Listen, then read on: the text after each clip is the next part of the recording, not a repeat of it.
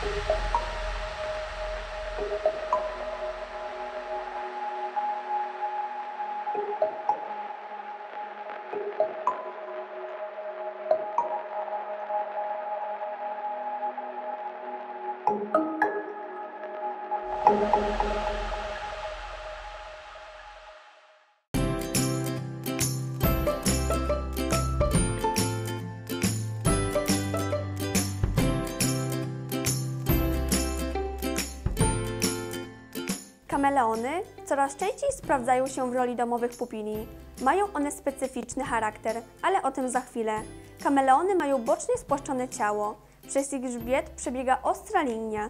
Posiadają dosyć krótkie kończyny o jednakowej długości z przeciwstawnym palcem, który ułatwia wspinaczkę i chwytanie gałęzi.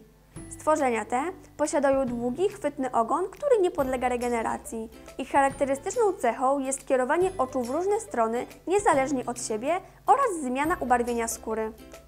To teraz trochę o ich charakterze. Kameleony to jaszczurka, na którą można patrzeć godzinami, ale niestety nie lubi ona bliskiego kontaktu z człowiekiem. Są one delikatne, mają jasno określone wymagania.